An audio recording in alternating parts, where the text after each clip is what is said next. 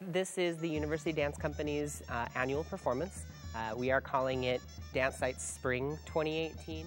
Um, this particular season or this particular show, we are focusing on the One World Initiative.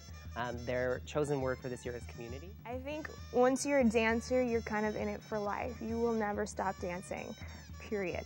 Watching all the dancers work their hardest and give their all in each piece that they do and then wanting to wanting for everyone else to see that that is amazing to come and watch